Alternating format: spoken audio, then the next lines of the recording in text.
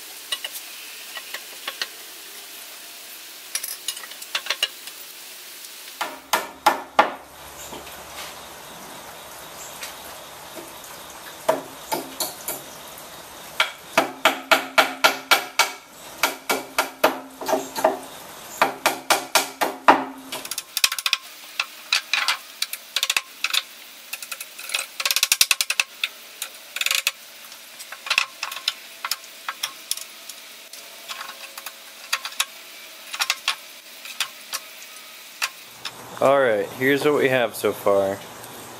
Um,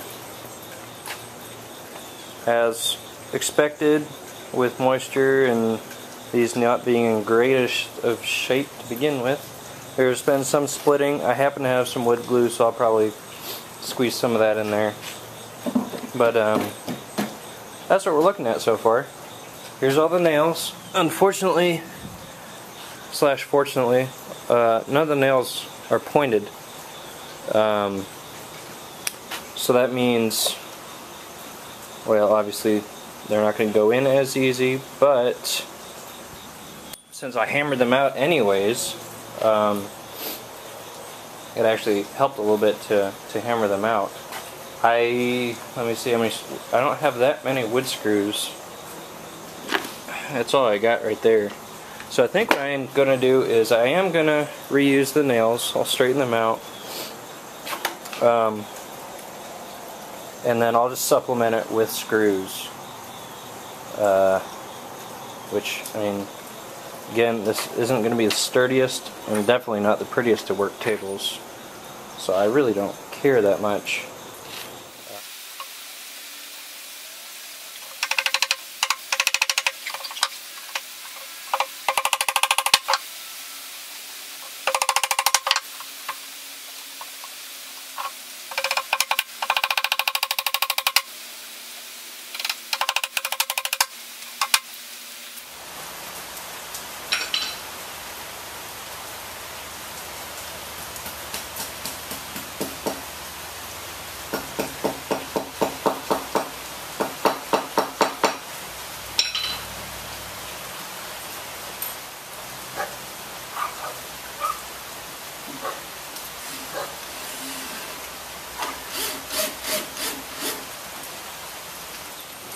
I just did a quick research, um, quick search on workbench height. Their tip was foot uh, ground to wrist crease, which for me is about 35 inches. It's 30, and uh, this right here, well, did you look at that? 35 and a half inches.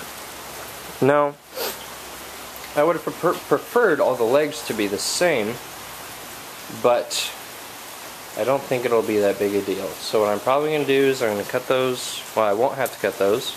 I just remove those four boards, which really won't be much compared to this. The wood's in good shape. And uh, then I think I'm going to use this piece here as the fourth leg.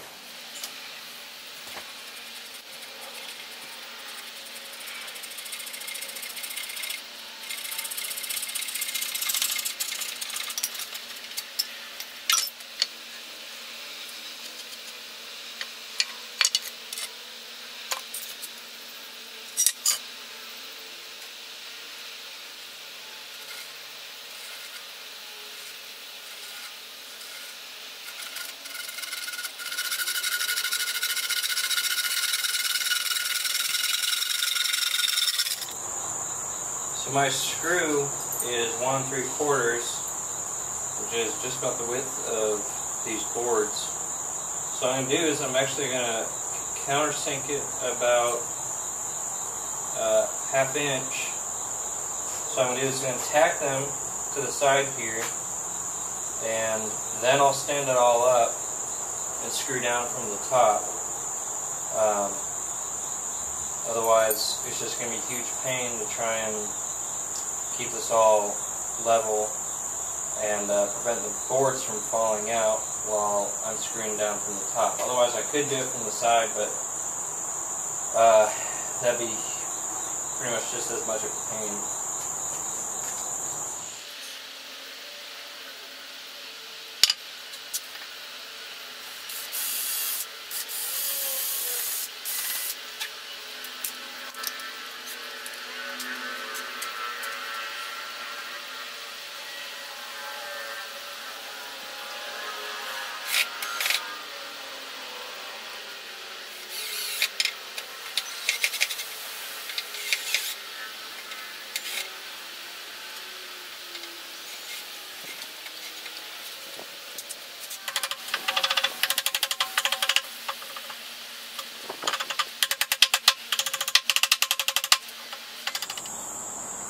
Alright everyone, this is the pretty much finished uh, workbench.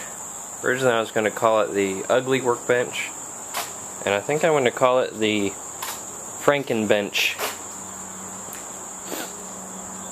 But here it is.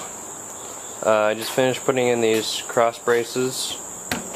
Uh, and I just used nails because I was running out of screws. And I want to use them for something else probably. I added a little step to it because I was just I just had it up and it started after I added these cross braces and it started to wobble. But looks like we're done. Um, yeah, let's flip it up.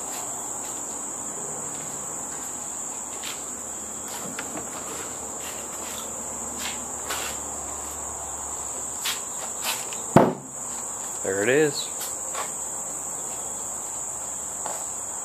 I think I've spent, um, let me check what time, I don't have the time. Um, I think I probably spent about an hour ripping, probably about three to four hours on this. And, uh, with reusing the materials and having a hammer, having a drill, having screws, um, having a coping saw, and I did use my Sawvivor, and having the drill bits, uh, I had everything right there except for the crowbar, which is right over there. So yeah, I think I'm gonna try and, and block plane some of the top. This is pretty rough. Uh, I don't know how much I'll do. It depends on how well it works, I suppose. I have to fill in a couple gaps. Might try and fill this with um, either baking soda and uh, super glue or sawdust and wood glue.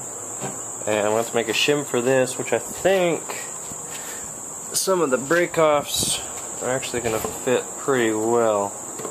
So that shouldn't be as difficult as I thought. But really that's it. Just touch up the top, uh, fill in the gaps, and as I, as I said earlier, uh, if I need an extra something, if I want, I don't know, a piece to piece to come off here um, for sharpening or whatever, then I'll just I'll just screw that on. Um, you'll have to excuse me, I'm a little tired now. Um, but yeah, there's my Frankenbench. That's all there is to it.